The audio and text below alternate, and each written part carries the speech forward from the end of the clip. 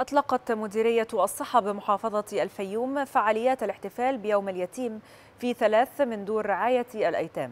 وألقى وكيل وزارة الصحة بالفيوم كلمة تحدث خلالها عن دور وزارة الصحة في مبادرة 100 مليون صحة والمبادرة الرئاسية لصحة المرأة والكشف المبكر عن سرطان الثدي ومبادرة مواجهة السمنة والأنيميا.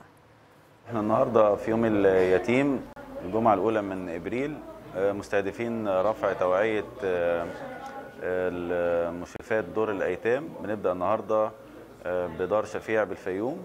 هي بتضم 47 طفل يتيم. بنستهدف رفع توعية المشرفات الدار بأهمية صحة المرأة ومبادرة السيد الرئيس لصحة المرأة. عندنا الفريق مبادرة صحة المرأة بمديرية الصحة بالفيوم. عمل لهم حملة توعية.